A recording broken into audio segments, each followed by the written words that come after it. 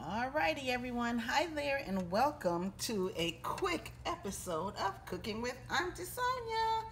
Auntie Sonia's a little bit bored, so you can't see me, but you can see my pot with my little bit of olive oil in there.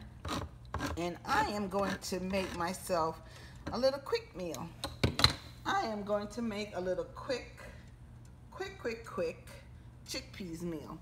First, I am going to put in my teaspoonful of garlic because I wanted to have like a little burnt garlic flavor. Adding my one large chopped onion. And prior to my large chopped onion, I had, see my garlic getting a little burnt? I want to have that flavor. So, hence me putting it in first. Then I had some frozen onions and peppers, and I just want to use that up. So you can just use onions and garlic, but being that I had this sitting on hand, I am just going to dump it in there. And I'm going to let that cook up a little bit so nothing goes to waste. Nothing goes to waste. I'm gonna let that saute for a little bit. And then, because this is just a little quickie thing, my all-time favorite, I'm leaning over here, you can, you can barely see into my pot, but that's all right. Just giving you a little sneak peek. Those little sticks, as some folks would call them, you see drop it in there. Those, are, that's thyme, dry thyme not measuring anything. This is just a little quickie. A little quickie meal. That would have probably been a half a teaspoon, if that. So what you're looking at in the pot is probably about two onions and a couple pieces of peppers.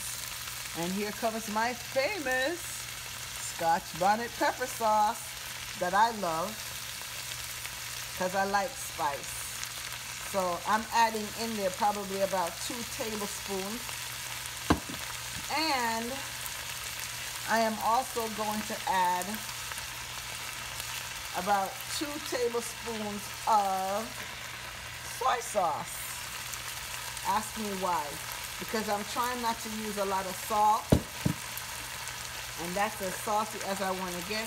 And last but not least, my turmeric. And this right here is about a two, two teaspoons. Recycle that. See that pretty color? Mmm, yum, yum, yummy. And I'm using chickpeas from the can from Aldi's.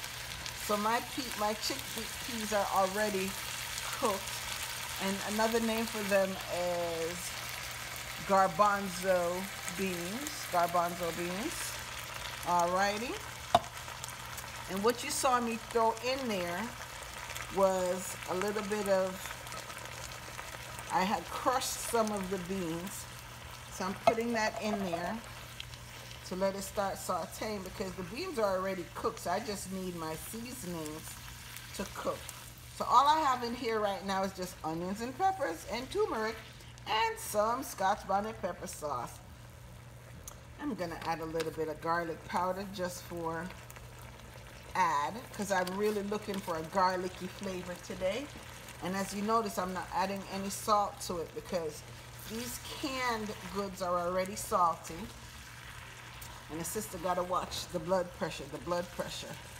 Because I'm not trying to have this blood pressure go up on me. So and one of my all-time favorite things that I add, and it just makes everything so much better. Guess what it is, y'all? That coconut milk. Yes, sir. See that nice milkiness that just went in there? And with that, I am going to add my... Oh, I washed it off and have some water left in there.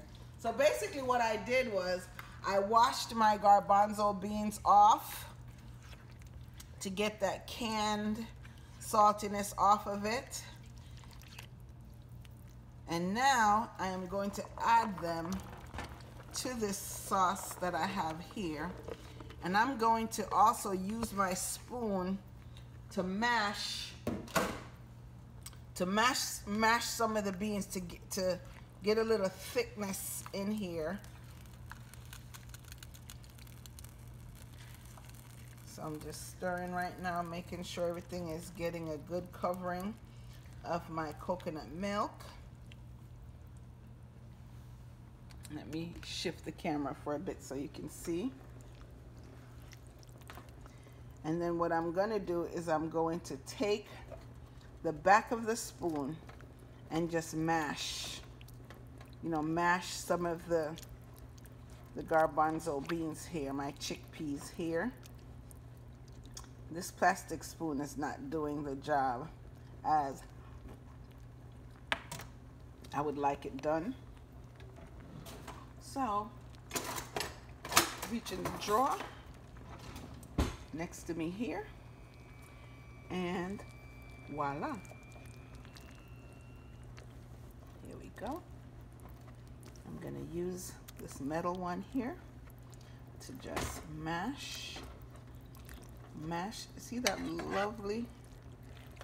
And if I had which I have a piece of roti because you know I went to Singh's yesterday and I bought a roti skin. And I've already had two meals out of it. So it's to be a part of this meal here.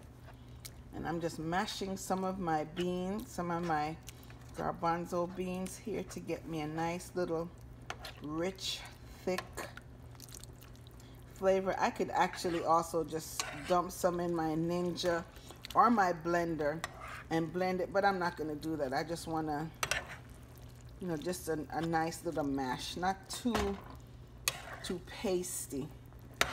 And I'm gonna let that saute for a little bit. And that's it, ladies and gentlemen. Once it's done, I will enjoy it with either, no, I won't do any rice. I could have it all by itself, or I can go ahead and have it with that piece of roti skin that I have left over. But I will show you what it looks like. But as you can see, just a couple simple onions, peppers, garlic, a little bit of thyme, some soy sauce, and that's it.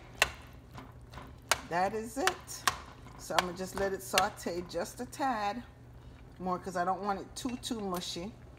And then I'll just show you the end product. But I want to say thank you so much for tuning in and joining Auntie Sonia cooking here. And you'll see the end results in a minute. Toodles.